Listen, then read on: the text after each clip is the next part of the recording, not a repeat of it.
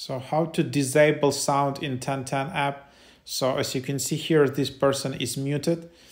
Um, so basically if I just tap on that person, I can tap mute and then you will appear as do not disturb for that uh, for that person and no sound will play out loud.